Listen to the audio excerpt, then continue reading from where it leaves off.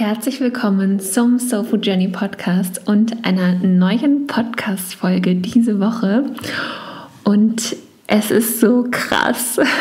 Es ist die 200. Podcast-Folge und ich habe mich tatsächlich ein bisschen schwer getan, das Thema auszuwählen und ähm, habe mir deswegen einfach Zeit gelassen, habe gesagt, okay, irgendwann kommt das Thema zu mir und dann nehme ich die 200. Podcast-Folge auf, die sich sehr besonders anfühlt, weil es ja einfach allein von der Vorstellung her so krass ist, dass es schon 200 Podcast-Folgen hier bei Soul Food Journey rund um das Thema Essstörungen gibt. Und ich habe dann diese Woche entschieden, dass ich einfach die Community frage und habe bei Instagram einen Fragensticker gemacht und habe nach Wünschen, Ideen für Themen für diese 200. Folge ähm, danach gefragt und äh, werde auch auf jeden Fall alle Themen nach und nach aufnehmen und ähm, habe mich jetzt für ein bestimmtes Thema entschieden. Denn es wurde mehrmals der Wunsch nach einer Kira-Folge, beziehungsweise nach einer Folge über meine eigene Geschichte, über meinen Weg, ähm, wurde sich gewünscht. Und dann habe ich das halt durchgelesen und währenddessen ist mir aufgefallen, dass ich noch nie, also wirklich noch nie in den ganzen letzten dreieinhalb Jahren, noch nie eine konkrete, Folge darüber gemacht habe oder sie halt so betitelt habe, die über meine Geschichte oder über meinen Weg ganz konkret geht. Und dann ähm, habe ich mal bei YouTube geschaut, denn bei YouTube gibt es ja ganz viele Videos mit dem Titel Mein Weg raus aus der Essstörung. Und das habe ich auch nicht zum ersten Mal gemacht, das habe ich schon häufiger mal gemacht bei Recherchearbeiten. Und da ist mir auch jetzt aufgefallen, ich habe das nie gemacht oder es gibt halt bei YouTube oder im Podcast keine Folge, die heißt Mein Weg raus aus der Essstörung, weil ich mich mit, mit diesem Wording oder mit dieser Denke dahinter nicht richtig identifizieren konnte und auch nicht kann und auch gar nicht möchte, weil ich erstens nicht an den Weg raus aus der Essstörung glaube, sondern an den Weg durch die Essstörung und weil es mir bei dem, was ich mache, ähm, mit dem Fokus auf Coaching im Bereich Essstörung nicht darum geht, euch von meinem Weg zu berichten oder euch halt zu erzählen, ähm, was ich an Tag X zum Beispiel gemacht habe, sondern euch vielmehr durch das Teilen der Erkenntnisse aus dem Weg und das Teilen von Coaching-Impulsen aus heutiger Sicht, damit möchte ich euch neue Perspektiven und Blickwinkel auf eure eigene Essstörung ermöglichen, damit ihr in die Selbstreflexion kommt. Dennoch hat mich mein Weg, und das ist natürlich nicht zu leugnen, denn mein Weg hat mich ja durch die Essstörung hierhin gebracht, wo ich jetzt bin. Und diesen Podcast würde es auch ohne meinen Weg durch die Essstörung nicht geben. Deshalb habe ich mir überlegt, dass ich dir heute, ähm, ich möchte dir heute einige wichtige und wertvolle Impulse aus meiner Geschichte und von meinem Weg von A bis Z mitgeben. Ich glaube, ich komme jetzt heute nicht von A bis Z durch, doch ich werde auf jeden Fall sicherlich zum Beispiel die Hälfte schaffen und dann daraus einfach zwei Folgen machen. Das heißt, ich nehme immer den Buchstaben aus dem Alphabet von A bis Z und teile zu jedem Buchstaben einen Impuls von meinem Weg oder eine Erkenntnis oder ein Erlebnis, einen Schlüsselmoment oder ähnliches aus meiner Geschichte und von meinem Weg. Da ist sicher nicht alles dabei, was ich dir natürlich erzählen könnte, aber das würde vermutlich einfach tagelang dauern, weil es einfach so viele einzelne kleine Momente, Erkenntnisse und Schritte gab.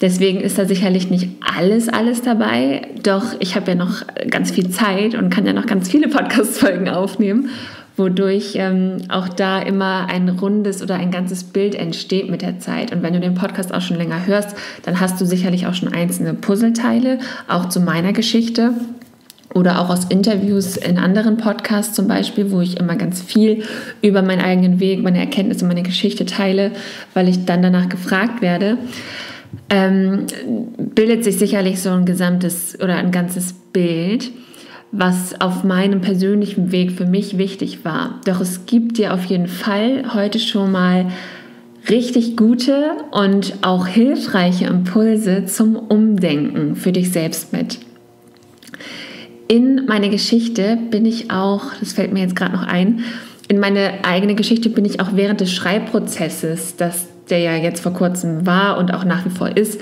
für unser Gemeinschaftsbuch, an dem wir gerade schreiben, das nächstes Jahr erscheint, bin ich in meine eigene Geschichte auch nochmal ganz tief abgetaucht, auch so wie alle anderen Autorinnen und Autoren.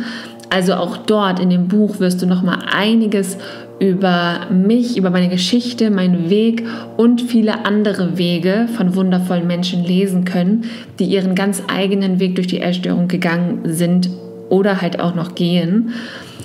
Dazu halte ich dich natürlich mega gerne und sowieso über Instagram, den Newsletter oder auch hier im Podcast immer auf dem Laufenden, damit du diesen Buchlaunch nächstes Jahr oder auch die, den Weg dorthin auf gar keinen Fall verpasst und da auch auf dem Laufenden bleibst, denn ich möchte dich gerne da in diesem Entstehungsprozess teilhaben lassen, mitnehmen, weil es ein sehr, sehr spannender Prozess ist und auch der Schreibprozess jetzt schon für alle Autorinnen und Autoren mega ja wirklich nochmal wie so ein Eintauchen in die eigene Vergangenheit war und natürlich auch hier und da emotional, schmerzhaft, Tiefgang und ähm, auch hier und da nochmal Wunden aufgemacht hat, was wirklich spannend war für jeden Einzelnen.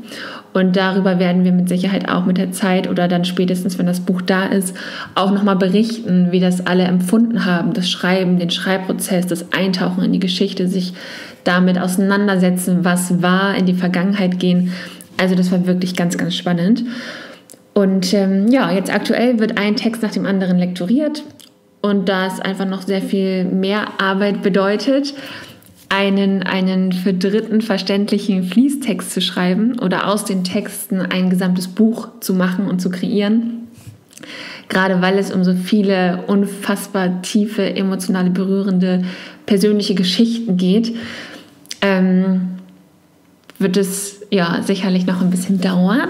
Aber wie gesagt, ich halte dich auf dem Laufenden. So, jetzt bin ich ein bisschen abgeschweift, wollte ich aber einfach gerne nochmal abholen zu dem aktuellen Buchprojekt, was gerade läuft neben allen anderen Projekten.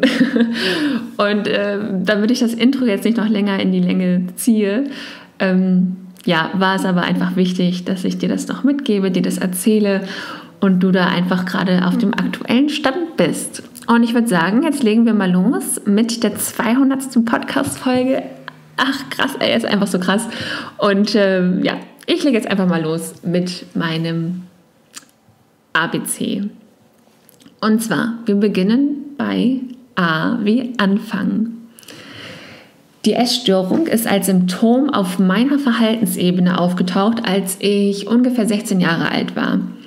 Ich weiß noch, dass ein Jahr vorher meine Oma gestorben ist und ich habe sie tatsächlich auch immer meine Lieblingsoma genannt, da sie ein ganz besonderer Mensch in meinem Leben war und ich auch ja zu ihr aufgeschaut habe und sie in unterschiedlicher Hinsicht eine Vorbildfunktion für mich hatte einfach durch ihre, durch ihre menschliche Art, wie sie war und wie sie sich gezeigt hat und wie sie sich gegeben hat.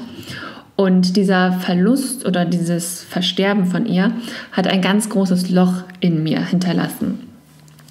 Der Verlust meiner Oma war nicht der Grund für meine Essstörung, das will ich damit gar nicht sagen oder andeuten.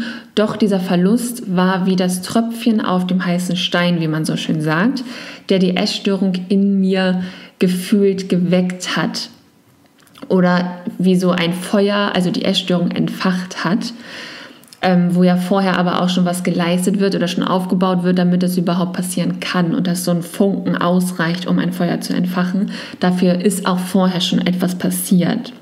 Ich bin mir auf jeden Fall sicher, dass die unterbewussten Grundlagen und Voraussetzungen in Form von starken Selbstzweifeln, von Selbstverurteilung bis hin zu Selbsthass, von der Angepasstheit, der Kontrolle, dem Perfektionismus und so weiter, dass all das schon vorher vorhanden war.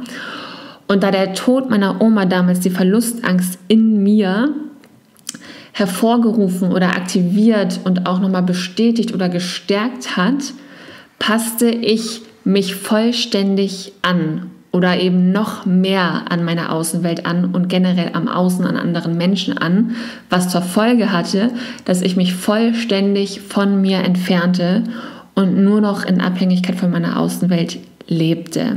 Mich also komplett vom Außen abhängig gemacht habe, weil das Außen immer erst kam, bevor ich überhaupt irgendeine, irgendeinen Blick nach innen gerichtet habe, wenn ich das überhaupt noch getan habe, je weiter ich mich von mir selber entfernt habe. Dann kommen wir zu B wie Blutung. Wie viele von uns war das erste, oder also wie, wie bei ganz vielen, will ich sagen, von uns, war bei mir das erste körperliche Anzeichen, an das ich mich erinnern kann, dass meine Periode ausblieb. Ähm, also sowas wie kalte Hände, kalte Füße, das habe ich äh, auch noch ganz lange oder habe ich auch heute noch. Ähm, doch so ein richtiges spürbar, sichtbares, essentielles körperliches Anzeichen in meiner Erinnerung war, dass meine Periode weggeblieben ist. Nachdem ich sie dann auch erst echt spät bekommen hatte oder zumindest die letzte in meinem engen Freundeskreis war, die ihre Periode bekommen hat, dachte ich sowieso schon immer, dass ich irgendwie anders bin, dass ich äh, nicht so weit entwickelt bin, dass mein Körper nicht weiblich ist im Vergleich zu den anderen und dass mit mir, mit dass mit mir einfach irgendwas nicht stimmt. Und das Gefühl, anders zu sein, kannte ich auch schon früh, weshalb ich angefangen hatte zu glauben, dass ich mich anpassen muss. Doch als meine Periode jetzt ja ausgeblieben ist, fühlte ich mich wieder ein Stück weit anders. Einerseits auf eine negative Art und Weise, weil ich etwas verloren hatte, also ein Stück Weiblichkeit, was mich ja auch mit den anderen, mit meinen Freundinnen verbunden hat, worüber man sich austauschen konnte, wo man sich irgendwie zur Frau gemeinsam entwickelt hat. Und andererseits habe ich mich auch besonders gefühlt, weil ich in der Form anders war, besonders war im Vergleich zu den anderen, weil ich dieses lästige etwas von Periode halt losgeworden bin über das sich ja sowieso in dem Alter alle irgendwo beschwert haben, niemand äh, wirklich eine positive Haltung dazu hatte und wir uns auch eher alle vor unserem eigenen Körper und vor dem, was da passiert, auch irgendwo geekelt haben. Und das ist das, woran ich mich erinnern kann, was wirklich ein ja, erstes sichtbares, spürbares, auch über Jahre hinweg körperliches Anzeichen war. Und ähm, was auch bis heute, also ich habe auf jeden Fall eine Periode und auch einen Zyklus, doch der ist nicht wie vielleicht bei anderen immer die 28 Tage lang, sondern ist eher unregelmäßig von bis in unterschiedlicher Länge. C wie Chlor. Witzig, dass mir als erstes Chlor in den Kopf gekommen ist. Wenn ich an Chlor denke, fällt mir sofort unser Freibad ein, in dem ich als Teenager im Sommer fast jeden Nachmittag mit meinen Freunden war. Ich fühlte mich, ich fühlte mich echt schon, ich weiß gar nicht, ich kann mich gar nicht so weit zurückerinnern, aber ich weiß, dass ich ja vielleicht auch nie so richtig ein Wohlgefühl in Verbindung mit meinem Körper hatte, aber ich fühlte mich auf jeden Fall in meinem Bikini, soweit ich zurückdenken kann, schon immer irgendwie unwohl in meinem Körper. Also auch schon ganz, ganz früh, wo ich so meinen ersten kleinen Mini-Bikini hatte als, als Mädchen, habe ich mich irgendwie unwohl da drin gefühlt und auch, ja, fand mein Bauch irgendwie zu zu groß, zu breit, zu dick, zu was auch immer. Auf jeden Fall habe ich mir da schon sehr früh Gedanken gemacht und mich auch mit den anderen, mit meinen Freundinnen verglichen. Und selbst als kleines Kind oder wenn ich mir Fotos von mir als Kind angesehen habe, damals in der Essstörung, habe ich mich verurteilt also habe ich mir Fotos von mir als Kind angeschaut und habe dieses Kind, dieses Ich, was ich war, ähm, bewertet, verurteilt. Wie wir uns selbst oder auch unseren Körper dermaßen bewerten können und auch uns selbst als kleines Kind quasi bewerten können, ist mir bis heute ein großes Fragezeichen.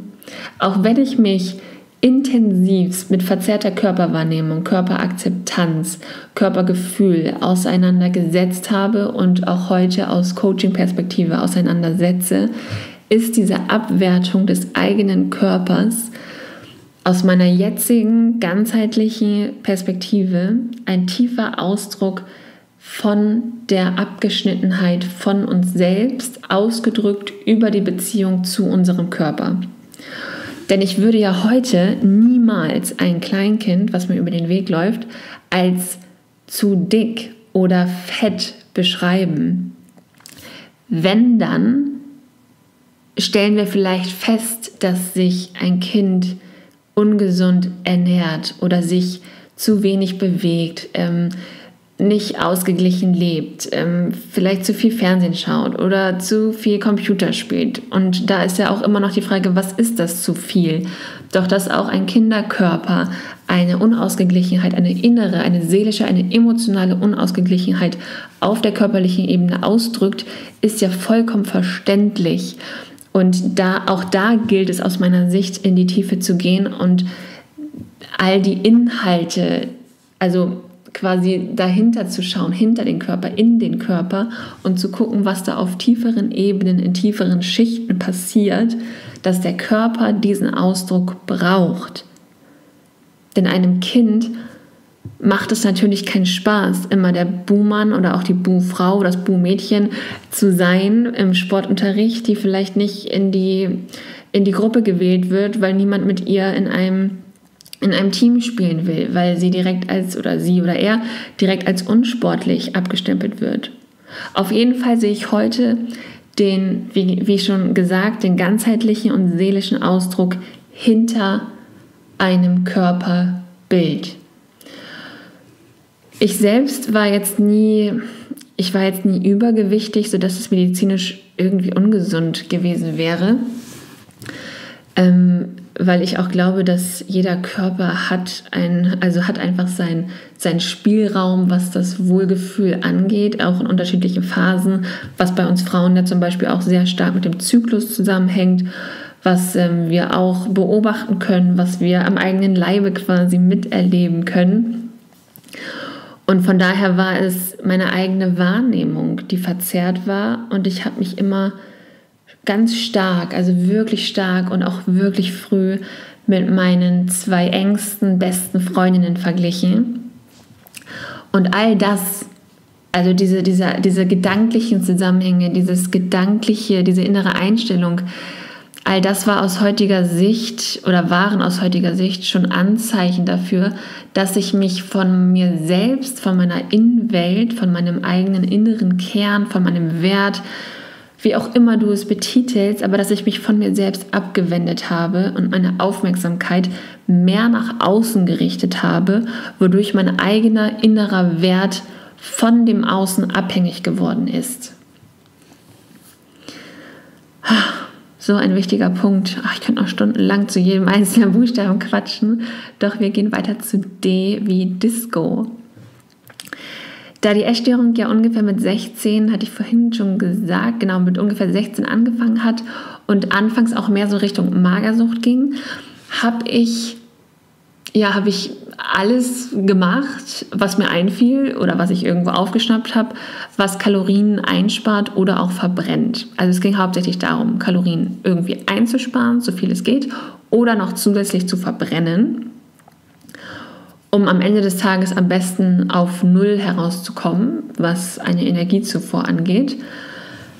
Und ähm, wenn es also so als Beispiel, wenn es jetzt beim Vorglühen vor der Disco, wenn wir uns irgendwo getroffen haben mit einer Gruppe, fast jeden Freitag und Samstag ähm, und in den Ferien sogar noch unter der Woche. Also wenn es dann beim Vorglühen vor der Disco hieß, möchte ich jemand eine Zigarette, war ich dabei.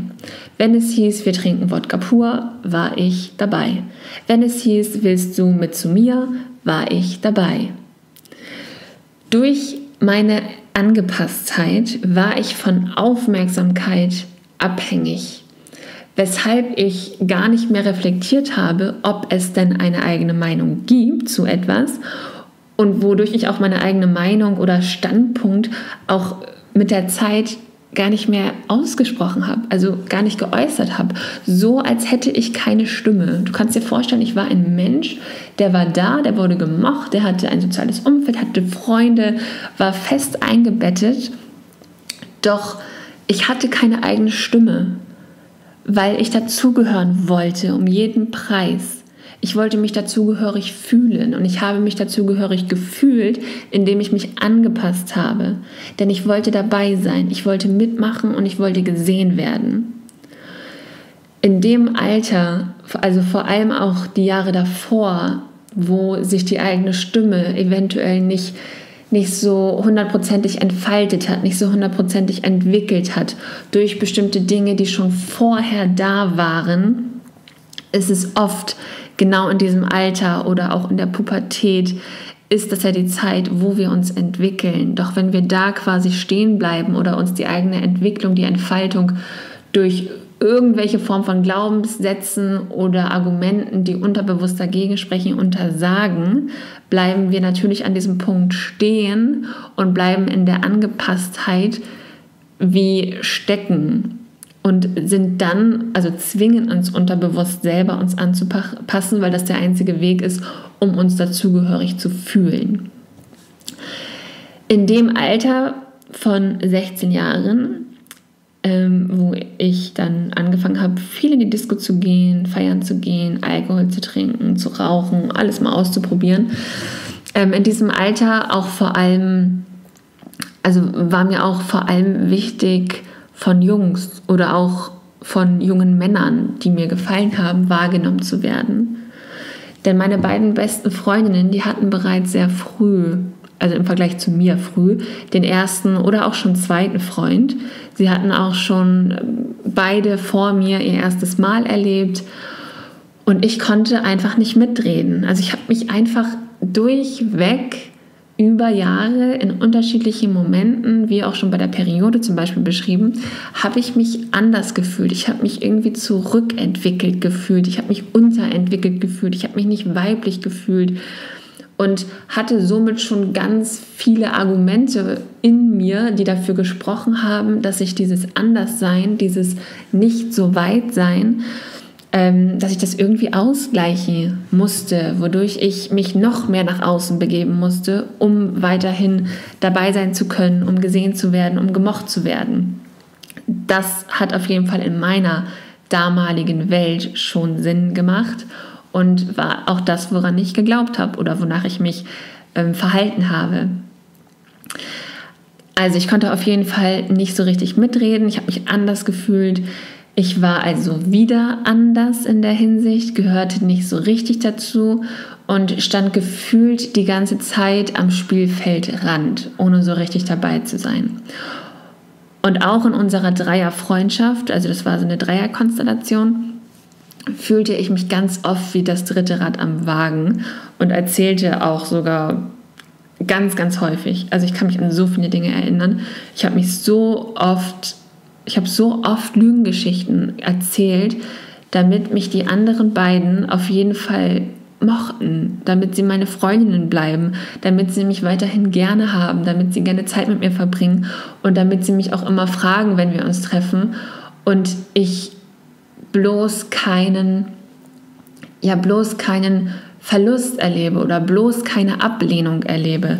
Und das ist etwas, was ich schon ganz, ganz, also was ich ganz früh verinnerlicht habe und auch ganz stark ausgelebt habe, diesen Schutz durch Angepasstheit vor Ablehnung, vor Verlust, vor der Angst vor Verlust, dieses Gefühl zu umgehen, beziehungsweise das Gefühl einfach gar nicht erst aufkommen zu lassen. Deshalb musste ich aus der damaligen Perspektive, aus dem damaligen Ich heraus dafür sorgen, dass mich jeder Mensch mag. Und das ist natürlich, also ne, man kann jetzt auf der einen Seite auch sagen, ja, das ist ja super eine Fähigkeit, empathisch zu sein. Ja, auf jeden Fall. Und das habe ich auch bis heute und das bringt mich auch weiter und ich setze und ich lebe und ich liebe diese Fähigkeit von Empathie. Das macht auch meine Arbeit als Coach aus. Deswegen kann ich diesen Job gut, deswegen fällt es mir leicht, mich in andere Menschen hineinzuversetzen und Dinge in anderen Menschen zu sehen, die ihnen selber noch nicht mal bewusst sind. Das macht einfach auch einen Coach aus, aus meiner Sicht. Doch auf der anderen Seite führt es natürlich auch dazu, wenn man schon dieses, diesen Drang nach, ich muss mich anpassen oder diesen Glaubenssatz vielleicht auch, ich muss mich anpassen hat, dann wird das durch die Empathie, solange ich den Glaubenssatz lebe, noch mehr gestärkt. Und dann setzt du deine Fähigkeit, empathisch zu sein, gegen dich selber ein, weil du dich dadurch überanpasst an die Außenwelt und dich halt immer weiter und ganz, ganz stark, wenn nicht sogar komplett, bis auf so einen letzten dünnen Faden von dir selber entfernst. Es geht weiter zu E, wie Einsamkeit. Wenn ich, also ich teile immer meine Gedanken, also meine ersten Gedanken, ich habe mir immer Stichworte gemacht und ich teile immer meine allerersten Gedanken, die mir dazu gekommen sind, mit dir zu jedem Buchstaben. Da gibt es noch ganz viele andere Gedanken, aber ich habe mich immer für den ersten entschieden, der intuitiv aufgeploppt ist. Also wenn ich an meine Kindheit zurückdenke, dann habe ich häufig das Bild vor Augen, dass ich mich mit einer Tüte Haribo, das waren entweder Gummibärchen oder Colaflaschen oder Phantasialand, dass ich mich mit einer Tüte Haribo in meinem Zimmer eingeschlossen habe und einen Horrorfilm gucke. Also ich habe mir wirklich diese ganzen Saw-Filme zum Beispiel alleine reingezogen, habe mich dann in meinem Zimmer eingeschlossen, weil ich allein zu Hause war und habe mich da mit meinen Süßigkeiten, mit meiner Haribo-Tüte verkrochen und ich sehe mich da allein zu Hause, weil meine Eltern häufig auf zum Beispiel einer Veranstaltung waren oder auch auf einem Ball oder ähnliches. Und meine Schwester, die dreieinhalb Jahre älter ist, die war dann schon in dem Alter, dass sie ja unterwegs war oder bei ihrem Freund war. Ich selbst bin auf jeden Fall, wenn ich mich so sehe, noch nicht in dem Alter, dass ich am Wochenende weggegangen bin oder äh, ständig immer irgendwo anders übernachtet habe weil zu dem Zeitpunkt auch meine beiden besten Freundinnen zum Beispiel auch schon einen Freund hatten und deswegen auch irgendwo schon ein paar andere äh, Unternehmungen hatten als ich. Und dieses Bild habe ich so ganz, ganz oft vor Augen, auch wenn ich irgendwelche Übungen mache mit dem inneren Kind oder ähnliches, dann habe ich ganz oft dieses Bild vor Augen. Dieses kleine Kind, diese kleine Kira mit ihrer Haribo-Tüte auf dem Sofa-Bett sitzend, also ein Sofa, was man zum Bett umbauen kann. Und ähm, sitze da und gucke einen Horrorfilm. Ich mache mal ganz kurz das Fenster zu. Es wird hier gerade ein bisschen laut. ähm, ja, und dieses Bild, was ich jetzt gerade beschrieben habe, das, ja, das, das macht mich immer, wenn ich daran denke, macht mich das irgendwie sentimental und auch traurig, da ich jedes Mal bei dieser Vorstellung diese kleine Kira am liebsten in den Arm nehmen möchte oder es halt auch mache, wenn ich zum Beispiel in so einer Coaching-Übung bin. Und ähm, also ich möchte sie dann einfach in den Arm nehmen und ich möchte ihr sagen, dass sie nicht alleine ist und dass Alleinsein nicht bedeutet, dass sie niemand lieb hat oder sie nicht gemocht wird. Der Glaube, allein und einsam zu sein, hat auf meinem Weg durch die Essstörung eine so wichtige Rolle gespielt. Ich habe mich nämlich vor allem mit mir selbst einsam gefühlt. Denn wenn ich unter Menschen war, dann habe ich mich auch einsam gefühlt. Ich war also immer innerlich und emotional einsam, egal ob jetzt räumlich allein oder unter Menschen. Es hat also eine ganze Weile gedauert, bis ich für mich selber erkannt, wahrgenommen, herausgefunden, verinnerlicht hatte, dass Einsamkeit sowas wie Einssein bedeutet aus einer ganzheitlichen Perspektive. Und das hat sich mir auch auf dem Heilungsweg, also nach dem Klinikaufenthalt, während des Weges der Auseinandersetzung, hat sich mir diese Erkenntnis offenbart und habe ich damit weitergearbeitet und habe halt erkannt, dass in Einsamkeit das Einssein drin steckt. Und ganzheitlich betrachtet ist der Moment, in dem wir mit uns allein sind, das größte Geschenk von Verbundenheit mit uns selbst.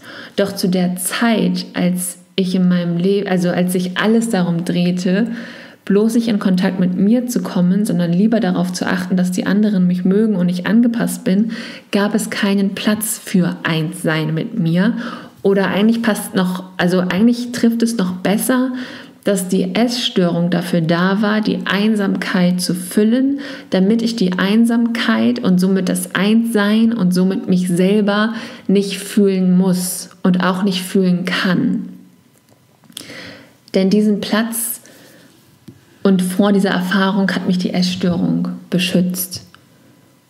Und solange ich auch natürlich in dieser Identität mit der Essstörung war, konnte ich mich mir gar nicht zuwenden, weil es weil sich alles darum gedreht hat, bloß nicht in Kontakt mit mir selber zu kommen, weil das die Gefahr war. Unterbewusst. Das war mir damals natürlich nicht bewusst. F wie Frieden. Ach, Frieden ist so ein wunderschönes Wort. Allein schon, wenn ich das Wort ausspreche, Frieden, überkommt mich immer schon so ein ein kleines, also ein schönes Gefühl, was den ganzen Körper durchzuckt. Und ab der Entlassung aus der Klinik habe ich mir nichts mehr, also wirklich nichts auf der Welt mehr gewünscht als diesen ewigen innerlichen Frieden, den ich seit vielen, vielen, vielen, vielen Jahren in der Klinik zum ersten Mal wieder gespürt und auch erlebt hatte während der neun Wochen Aufenthalt. Und kein ja, es, es war hat sich angefühlt wie kein Kampf mehr gegen die Essstörung, kein Kampf mehr gegen mich selbst, kein Kampf mehr gegen meinen Körper, kein Kampf mehr gegen meine Gefühle, kein Kampf mehr gegen meine Wahrheit. Einfach Frieden in mir, mit mir und meinem eigenen Leben. Das war das größte und höchste Ziel, das ich von damals aus gesehen also von dem Zeitpunkt aus gesehen, wo mir das bewusst geworden ist, wo ich aus der Klinik entlassen wurde, 2014, ähm, war das von da aus gesehen das größte und höchste Ziel in meinem Leben, was ich erreichen wollte, weil ich es glücklicherweise leid war, so viel Lebenszeit mit der Essstörung zu, in Anführungszeichen, verschwenden. So habe ich auf jeden Fall damals gedacht und so viele auch glückliche Lebensmomente durch die Essstörung nur sehr getrübt zu erleben und auch sehr, ja, fast wie benebelt in Erinnerung zu behalten. Weil all diese Jahre von gefühlt einem Schleier ja, verhangen sind, der, der so an mir vorbeigerauscht ist, bei dem ich nicht wirklich anwesend war und auch nicht so richtig am Leben teilgenommen habe, sondern wo es mehr darum geht, zu existieren und diese Existenz zu wahren, beziehungsweise auch ähm, das Gefühl, in einem Überlebensmodus zu sein und es halt irgendwie zu schaffen und das Leben irgendwie zu schaffen, was aber weit weg von dem Lebensgefühl ist, wofür das Leben eigentlich da ist und wofür, es, wofür wir es auch eigentlich zur Verfügung gestellt und geschenkt bekommen.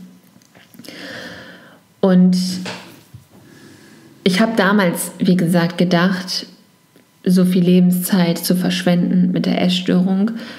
Ich sehe das heute nicht als verschwendete Zeit, sondern sehe es als unfassbar wertvolle Erfahrung, durch die ich wieder zu dem Ich und zu diesem, ja, zu meinem wahren Selbst, zu der Kira, die ich bin, ähm, wieder zurückkehren konnte, weil ich mich entfernt habe und konnte so jetzt auch mich selber ganz neu kennenlernen durch diese Erfahrung. Und ich weiß ja nicht, ob ich mich jemals so in Frage gestellt hätte oder ob ich meine Innenwelt jemals so detailliert oder so konkret angeschaut hätte, wenn es keinen Grund, also wenn es psychisch, gesundheitlich keinen Grund dafür gegeben hätte. Wie es so oft ist bei unterschiedlichen ähm, bei unterschiedlichen Symptomen, die wir als Menschen haben können, ist es oft so, dass sobald jemand ein Symptom hat, wird das Leben in Frage gestellt, wird die bisherige Einstellung in Frage gestellt, werden Dinge verändert. Und genau so, auch wenn es ein langwieriger Prozess war, sehe ich die Essstörung als ein Symptom, was sich bei mir gemeldet hat, was mir etwas signalisieren wollte, von innen heraus betrachtet was ich halt lange nicht verstanden habe oder was ich auch lange nicht bereit war anzuhören, anzunehmen und zu sehen, sondern eher davor weggelaufen bin und gedacht habe, ich muss davor weglaufen oder ich muss davor flüchten und dagegen ankämpfen. Das habe ich damals geglaubt, weshalb ich auch geglaubt habe, dass, dass es verschwendete Zeit ist. Doch rückblickend kann ich nur sagen, dass es in meinem Leben keine verschwendete Zeit war. Es war ein es war eine unfassbar wichtige Erfahrung. Es war ein Geschenk für meine persönliche Entwicklung und ich habe daraus sehr, sehr, sehr, sehr viel mitgenommen, worauf ich auch heutzutage unglaublich stolz bin auf die Entwicklung, die ich machen durfte dadurch. Genau. Ähm, G wie Gesundheit. Dazu fällt mir ein, dass ich nicht immer gesund werden wollte. Also die ersten sieben Jahre, und ich denke, diesen Modus, den oder diese Phase kennen wir alle, die eine Essstörung erlebt haben. Die ersten sieben Jahre auf meinem Weg oder, oder während des Erlebens des Symptoms ähm, oder nee, die ersten sieben Jahre mit Magersucht und später dann auch Bulimie waren wie ein Leben, das sich wie ein Traum angefühlt hat. Nicht, dass es schön war, also wie ein Traumtraum, doch vom Zustand her, also von dem Zustand her, wie, wo ich mich vom Bewusstsein her befunden habe ähm, oder befand, war es gefühlt wie in einem Traum zu sein. Es war so, als wenn ich in einer parallelen, also als wenn ich in einer parallel zur Realität laufenden Welt lebe, wie in so einer anderen Zeit, die aber parallel zur Realität stattfindet, die jedoch nichts mit der Realität zu tun hat. Ich war also körperlich anwesend oder auch einfach mega viel unterwegs, um ja nicht mit mir alleine zu sein, doch ich habe kaum Erinnerungen an diese Zeit, so wie ich das auch eben schon beschrieben habe. Das ist wie benebelt, da ich innerlich, gedanklich oder auch emotional nicht in der Gegenwart war. Ich war einfach nicht im Hier und Jetzt.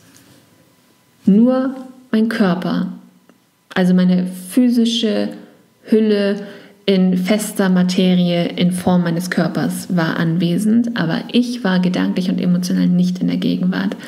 Ich war innerlich mit anderen Dingen beschäftigt und meine Gedanken kreisten sich um Themen, also an der Oberfläche Gewicht, Aussehen, doch die echten Themen, die dahinter lagen, die mich gedanklich beschäftigt haben, die waren zum Beispiel sowas wie, was die anderen über mich denken, ob ich gerade das Richtige gesagt habe oder ob ich nicht doch zu viel gegessen hatte, wodurch mir meine Klamotten morgen nicht mehr passen und dann alle sehen, wie undiszipliniert ich doch bin und dass ich nichts gebacken bekomme und dass ich faul bin, dass ich dumm bin.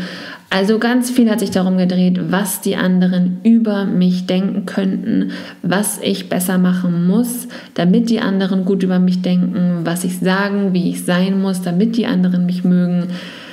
Das waren alles so Gedanken, um die meine Welt sich gekreist hat, was ja auch schon der innerliche Ausdruck von dieser krassen Überangepasstheit an die Außenwelt ist und diese Abhängigkeit, die zur Außenwelt bestand.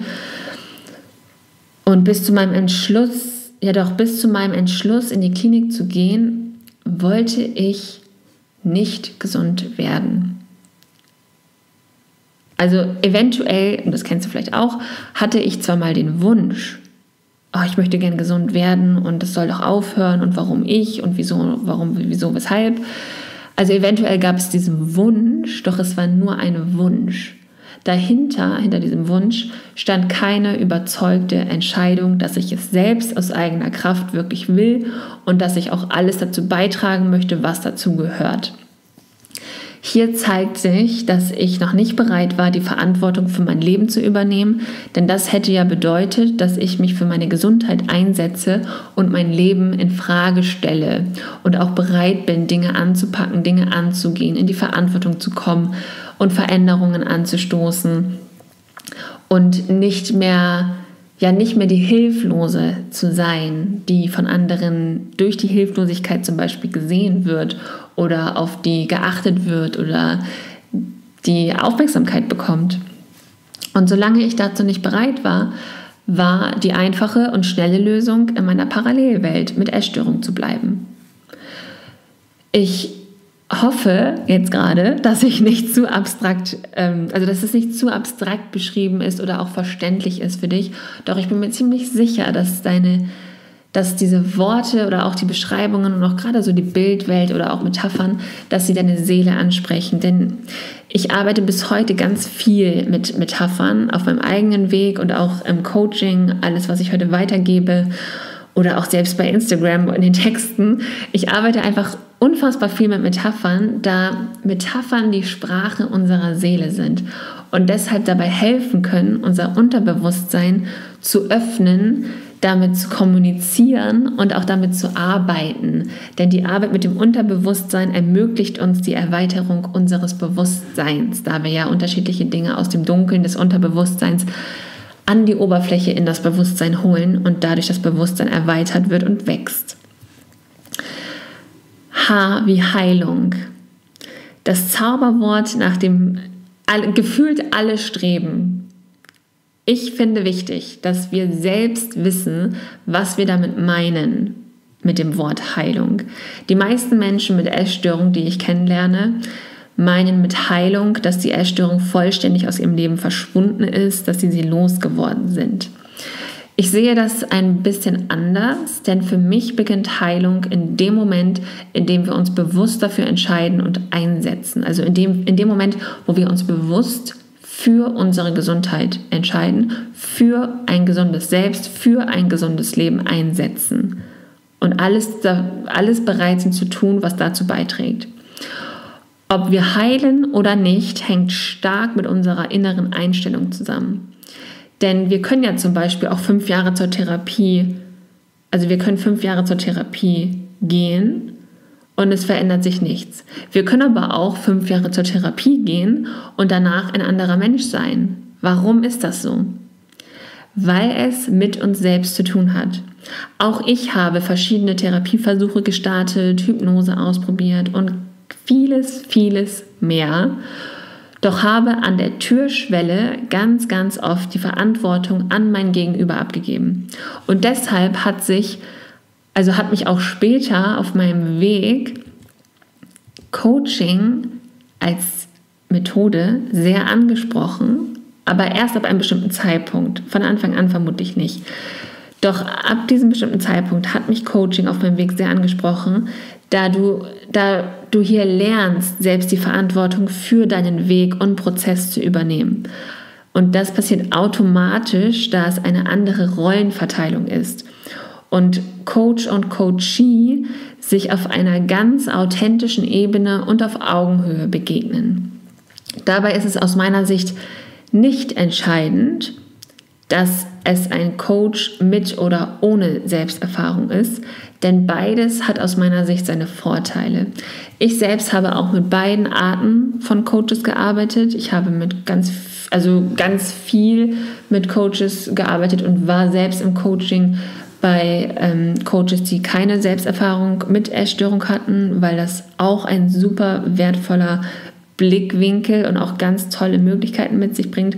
Und gleichzeitig hatte ich auch Coachings bei Coaches, die eine Essstörung hatten, die schon länger zurücklag oder die ja, die, die sich damit auskennen oder einfach auch diesen Erfahrungswert hatten. Doch es ist aus meiner Sicht, wie gesagt, nicht entscheidend, ob es ein Coach mit oder ohne Selbsterfahrung ist, weil beides seine Vorteile hat. Und für, aus meiner Sicht und auch aus meiner Sicht als Coach ist es entscheidend oder ist die Frage viel entscheidender, was brauchst du gerade? Es gibt methodisch gesehen nichts, was pauschal gut oder schlecht ist, sondern sollte es sollte immer die Frage im Vordergrund stehen und gemeinsam vielleicht schon im Coaching ähm, darüber das bearbeitet werden, dass du für dich selber herausfindest, was brauchst du denn eigentlich gerade? Was ist denn dein nächster Schritt? Wo stehst du denn auf deinem Weg im Moment? Bist du gerade damit beschäftigt, irgendwas zu tun, weil du glaubst schon da zu sein und diesen Wunsch hast, schon dieser Mensch zu sein? So ging es mir zum Beispiel teilweise auch ich wollte schon jemand anderes sein, der ich aber noch nicht war und habe mich dann von meinem Weg abgehalten, weil ich damit beschäftigt war, mich darüber zu ärgern, dass ich noch nicht der Mensch bin, der ich gerne sein möchte. Also wir können uns unter, auf unterschiedliche Art und Weise selber im Weg stehen und uns selber davon blockieren, unseren eigenen Weg zu gehen und auch tatsächlich im Hier und Jetzt zu sein und diesen Weg zu gehen und zu sehen. Deswegen aus meiner Sicht die wichtigste Frage, was brauche ich denn gerade? Das habe ich mich dann auch immer gefragt. Ist es Coaching? Ist es Therapie? Ist es eine Reha? Ist es ein Klinikaufenthalt? Also ich habe dann nach dem Klinikaufenthalt, habe ich angefangen, mich immer wieder zu fragen, was brauche ich gerade? Und ich habe mir dann immer das geholt, mich informiert, recherchiert, ähm, beraten lassen, vermitteln lassen, damit ich das mache, was ich brauche? Und diese Frage finde ich persönlich unfassbar wichtig. Denn nicht für jeden zum Beispiel ist die Therapie direkt passend. Nicht für jeden ist die Ernährungsberatung ausreichend. Nicht für jeden ist der Klinikaufenthalt das, was die Person braucht. Also nutze die Auseinandersetzung dafür oder auch beispielsweise ein Coaching dafür, um für dich herauszufinden, was du denn gerade brauchst und wo du gerade stehst. I wie Identität. Das ist heute im Coaching eins meiner absoluten Lieblingsthemen, da meine Essstörung damals meine einzige Identität war. Sie war das, was mir Halt, Kraft und Sicherheit gegeben hat. Durch sie habe ich mich wie jemand gefühlt, durch sie habe ich mich überhaupt gefühlt, auch wenn der Preis dafür ziemlich hoch war, dass ich, ähm, ja, dass ich mich nicht gut gefühlt habe, doch ich war bereit, diesen Preis dafür zu bezahlen, weil auf der anderen Seite hat sie mir diese Geborgenheit, diese Sicherheit und diesen Halt, diese innere Kraft gegeben.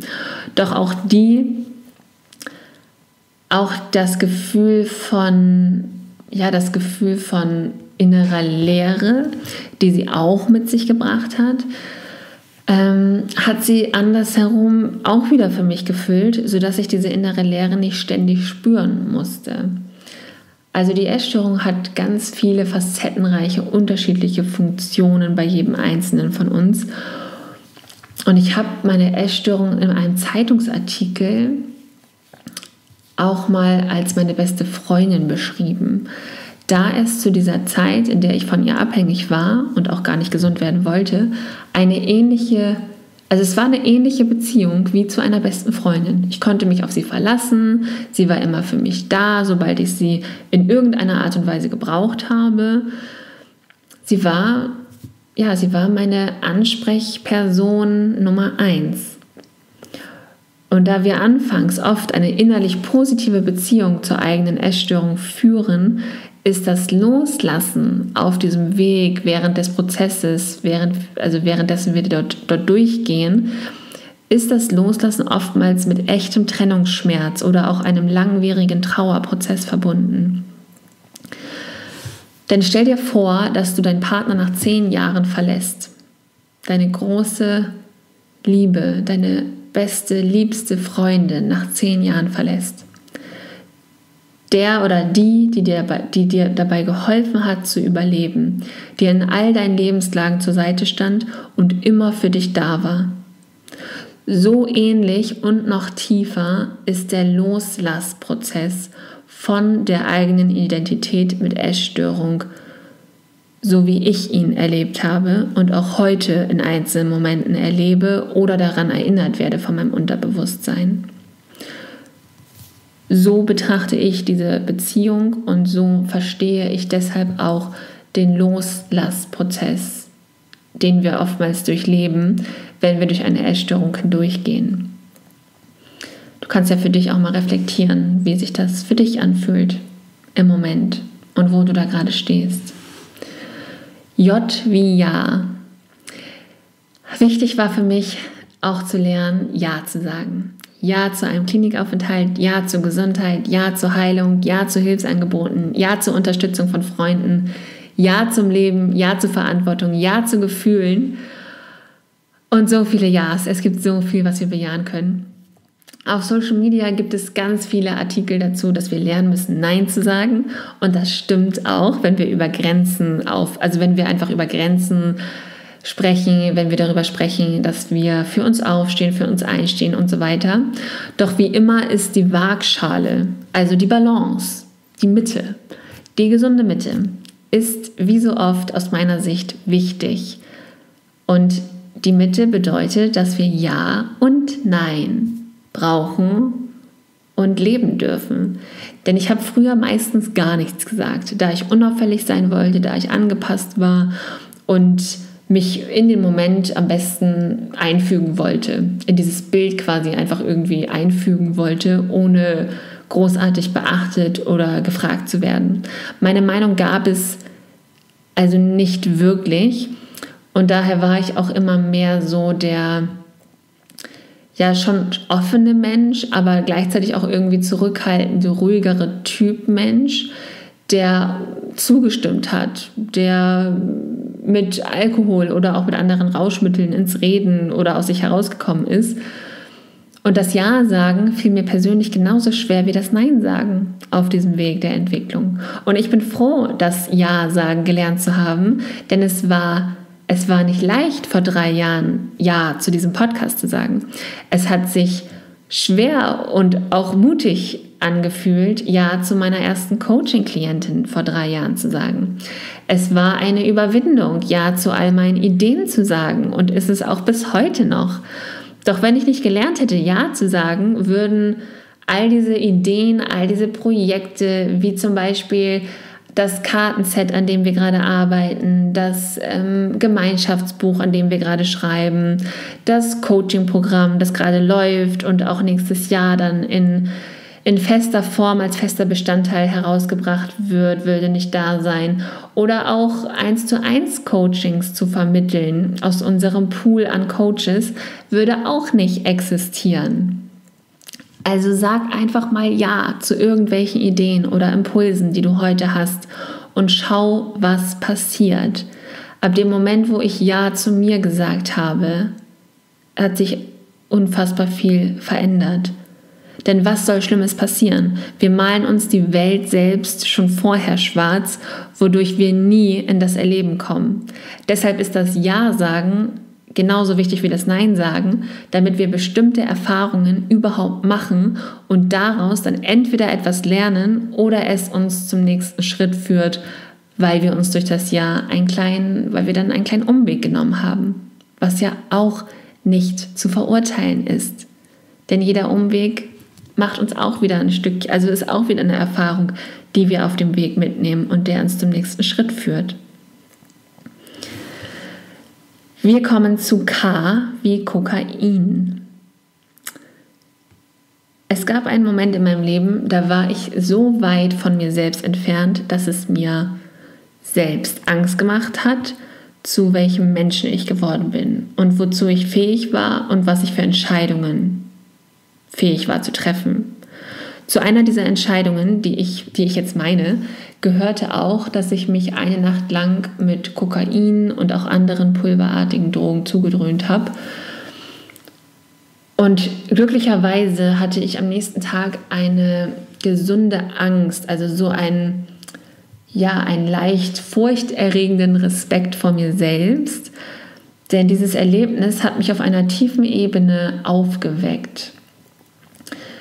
Danach, nach dieser Erfahrung, war mir auf jeden Fall klar, nicht direkt, aber Tage später und mit etwas Auseinandersetzung, war mir klar, dass ich die Kontrolle über alles verloren hatte. Obwohl ich die ganze Zeit über in meiner Identität mit Essstörung davon überzeugt war, dass ich diejenige bin, die Kontrolle über sich selbst und ihr Leben hat.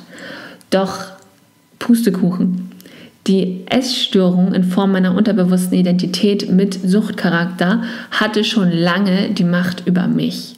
Mein Unterbewusstsein bestimmte mein Leben und ich wusste zu dem Zeitpunkt damals noch nicht einmal, dass mein Unterbewusstsein sowas überhaupt kann. Denn woher auch? Das hatte mich bis dahin niemand gelehrt Wobei hier auch berechtigt die Frage zu stellen ist, ob ich es früher überhaupt verstanden hätte und mein Geist schon in der Lage gewesen wäre, daraus wirklich eine Erkenntnis zu gewinnen oder mitzunehmen.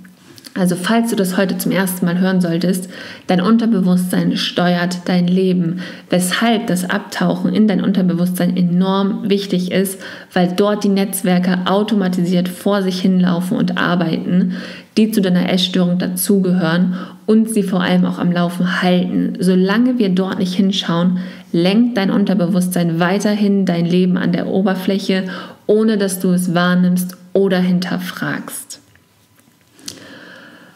Womit wir auch direkt zu L kommen. Und ich denke dann, ja, ich glaube, wir machen heute bis L und in der nächsten Folge geht es dann weiter mit M bis Z. Also kommen wir zu L wie Leben. Ich könnte so unfassbar viel zu diesem Stichwort sagen, doch ich möchte es für heute und zum Ende dieser Folge kurz machen. Du hast nur dieses eine Leben. Zu viele Menschen sind meiner Meinung nach schon an Essstörungen gestorben. Also bitte bitte, bitte, bitte kümmere dich darum, dass du nicht eine von diesen Menschen wirst, wenn du das hier gerade hörst. Keine Essstörung möchte, realistisch betrachtet, dass du stirbst, auch wenn es dem Anschein nach danach aussieht, gerade wenn wir auch von Magersucht sprechen, wobei alle Formen von Essstörungen ein, ein ja, Sterbepotenzial mit sich bringen. Ganzheitlich betrachtet und aus Coaching-Sicht ist die Essstörung deine Identität, die du in Frage stellen darfst, um dich dir selbst schrittweise wieder näher zu kommen. Sie ist der Hilferuf deiner Seele, die sich nicht anders zu helfen weiß. Ich verstehe auf eine gewisse Art und Weise durch mein Verständnis, durch mein Bewusstsein, durch die Empathie, durch das Hineinversetzungsvermögen verstehe ich all die Menschen, die bisher von uns gegangen sind und kenne ja auch die Suizidgedanken und dieses Gefühl von alles ist sinnlos und es wäre besser, wenn ich hier nicht auf der Welt bin und weg bin und auch dann würde es anderen Menschen wieder besser gehen. All das kenne ich, diese Gedanken und es macht mich unglaublich traurig, dass die Menschen nicht vorher aufgewacht sind aus ihrer Parallelwelt, dass sie nicht so weit aufgewacht sind, dass sie wirklich so Schritt für Schritt aus dieser, aus diesem eigenen Schatten, aus dieser eigenen Parallelwelt heraustreten konnten. Doch gleichzeitig schaue ich mir die Statistiken an und denke mir, dass es so nicht weitergehen kann und darf. Es zeigt, dass wir etwas am System verändern müssen, dass wir etwas am System verändern dürfen und am wichtigsten aus meiner Sicht, dass wir etwas am System verändern können. Und dafür ist es wichtig, loszugehen. Ganz egal wie und ganz egal, wie lange es dauert. Deshalb habe ich auch mein Leben dieser Aufgabe gewidmet und werde bis zu meinem letzten Atemzug auf dieser Welt unterschiedliche Projekte anstoßen, die ein neues Bewusstsein für Essstörungen verbreiten, sowie SoFood Journey als Coaching-Plattform aufbauen, damit Coaching im Bereich Essstörungen einen festen, nachhaltigen und anerkannten Platz bekommt. Es gibt diese Lücke zwischen Therapie, Klinik und Alltag aus meiner Sicht, in der wir zwar oftmals gesund werden wollen, also wo wir rational entwickelt sind, wo wir kognitiv entwickelt sind, doch unsere unterbewusste Identität mit Essstörung noch sehr stark und sehr mächtig ist, was zeigt, dass wir emotional quasi hinterherhängen und dass wir auf der emotionalen Ebene noch nicht dort sind, wo unser Kopf ist. Deshalb ist genau an diesem Punkt aus meiner Sicht der, der, der, ja, der, der beste Zeitpunkt, um sich von einem Coach mit oder ohne Selbsterfahrung, wie oben schon gesagt, begleiten zu lassen. Ich selbst hatte Coachings bei verschiedenen Coaches, seitdem ich aus der Klinik entlassen wurde. Ich war nach der Klinik in Therapie. Ich habe unterschiedlichste Angebote in Anspruch genommen. Immer das, was ich gerade gebraucht habe, so wie ich es auch vorhin schon beschrieben habe. Und ich habe dabei nichts ausgeschlossen und auch nichts von vornherein unversucht gelassen.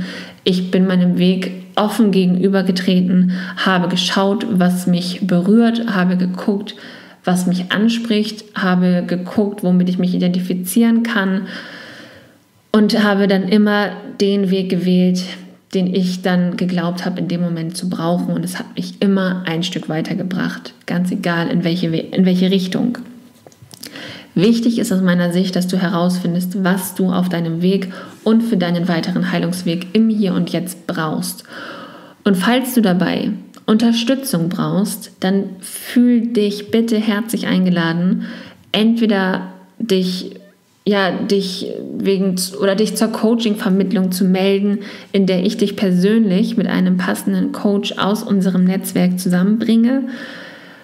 Oder dass du dich einfach traust, dich auszutauschen, Instagram zu kommentieren, in die Facebook-Gruppe zu kommen, mit der Community zu sprechen, deine Gedanken zu teilen, dich zu zeigen.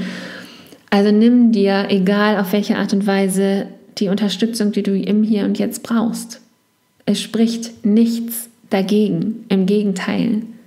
Es kann dich nur alles immer ein Stück mehr zurück ins Leben bringen, damit du nicht eine dieser Menschen wirst, die an einer Essstörung gestorben sind. In der nächsten Folge geht das Alphabet von M bis Z weiter und ich freue mich jetzt schon darauf, weitere spannende Impulse aus meiner Geschichte, von meinem Weg, aus meinen Erkenntnissen mit dir zu teilen. Wenn du jetzt nach der Folge hier irgendwelche Fragen an mich hast, dann melde dich einfach wirklich per E-Mail oder über Instagram jederzeit super gerne.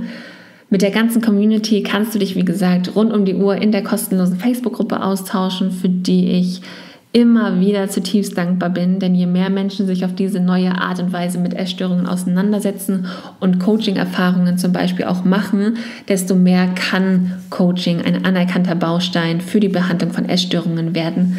Also lass uns gemeinsam dafür losgehen. Diese Facebook-Gruppe, falls du noch nicht drin bist, die heißt Essstörungen als Wegweiser und Soul Food Journey Community. Also unter beiden Wörtern, Sätzen findest du diese Gruppe und kannst dann einfach beitreten. Ich wünsche dir einen ganz, ganz wundervollen Tag. Ich wünsche dir ähm, ganz viel Freude weiterhin mit dem 24 Days of Healing Adventskalender. Falls du ihn, ähm, ja, falls du noch aktiv dabei bist, was ich natürlich sehr hoffe. Und ich sende dir ganz viel Sonne von Herz zu Herz. Ich drücke dich fest. Und noch ein ganz kurzer kleiner Hinweis. Morgen findet ein vielleicht für dich sehr spannendes Gewinnspiel statt. Das wird bei Instagram und bei Facebook gepostet und da kannst du ja morgen mal vorbeischauen, denn ich möchte dir gemeinsam mit einer guten Freundin von mir ein Geschenk zum vierten Advent mit auf den Weg geben, was mir besonders am Herzen liegt und was ich als sehr, sehr, sehr, sehr, sehr wertvoll empfinde. Also schau auf jeden Fall morgen vorbei. Und jetzt drücke ich dich ein Hoch auf dich, deine Kira.